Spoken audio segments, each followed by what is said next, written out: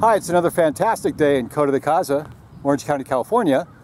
We have a new bird for you. He's more popular in winter, but we find him in spring as well.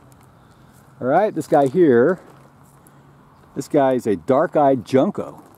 Junco hyemalis. You may also call him a Junco hyemalis. Now there's over 630 million of these individual birds, which makes him one of the most abundant birds in North America. Now they're common from Alaska to Mexico, California to New York. Now they tend to migrate north in summer to the higher latitudes, but you can usually find them here around our oaks. And you find these guys mostly in partially wooded areas. They're usually simply hopping along the ground, foraging for seeds and insects. So our Coto de Caza oak woodland community is perfect for them.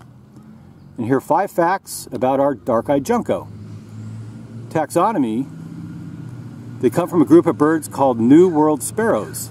So he's related to our common sparrows, like the white-crowned sparrow and the song sparrow. Now his genus Junco, it comes from the Spanish word junco, which means rush, and that comes from the Latin word juncus. And his species Hyemalis, well that means of the winter, and you can see these guys jumping along the snow in the east coast and higher latitudes during the winter. So there are 15 subspecies of juncos in the United States, and ours here in Coto de Caza is the Oregon variety, our Junco hyemalis oreganus. Number two, what they look like.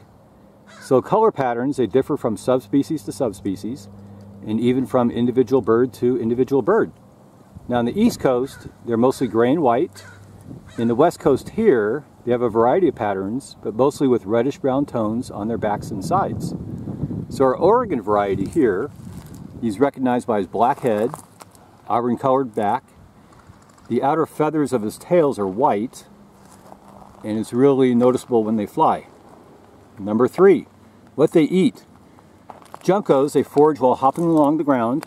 They mostly eat insects, and seeds, they eat caterpillars, beetles, grasshoppers, even spiders, and sometimes they eat berries. Now they're constantly scratching the dirt and flicking up leaves, the pine needles, and where it snows, they'll kick up the snow to find their food.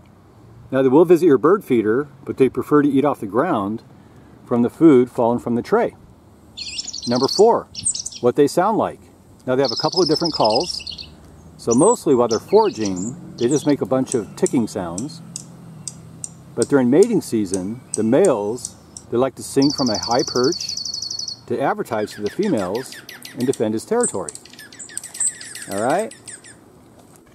Number five, how do they nest? So the males are territorial, they love to sing, they'll fight off other birds, and you commonly find them fighting their own reflections in the side view mirrors of your car. Now females, they choose the nest site and she also builds most of the nest all by herself.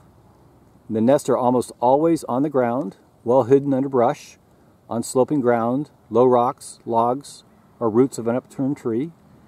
And she'll lay three to five eggs. When they hatch, both parents will care for the young, and they leave the nest about 10 days after hatching. And our juncos, they'll have one to two broods per year, sometimes even three. All right, and the oldest junk on record was almost about 12 years old. So there you go. That's our uh, dark-eyed junco. Hope you liked the video. Thanks for watching. Bye.